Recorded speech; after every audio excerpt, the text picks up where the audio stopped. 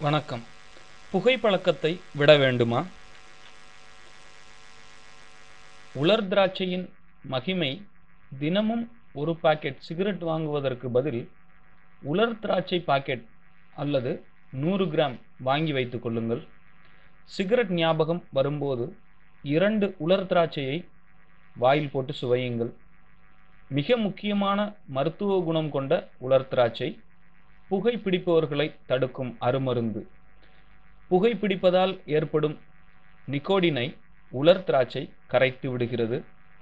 மேலும் புகைப்பிடிக்க மனதுக்கு தோன்றும் முன்பு சில உலர் திராட்சைகளை சாப்பிடும் பொழுது அதன் இனிப்பு கரைசல் புகைப்பிடிக்க தூண்டும் உணர்வை கட்டுப்படுத்துகிறது.